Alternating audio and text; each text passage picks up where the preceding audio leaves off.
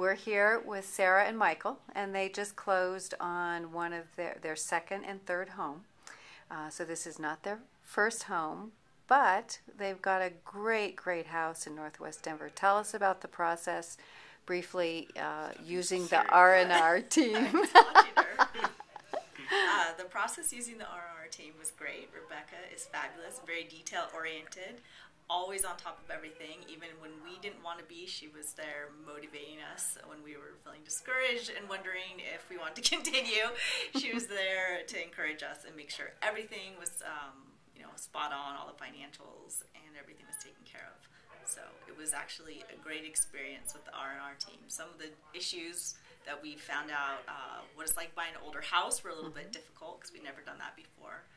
But as far as the process from your end, it was mm-hmm. good. Michael, any additions? Best experience buying a house I've had so far.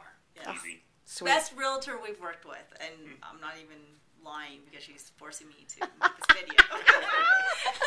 And we'll conclude with that. yes, I would rehire her. I'm going to pay them their $50 now. Good luck, guys.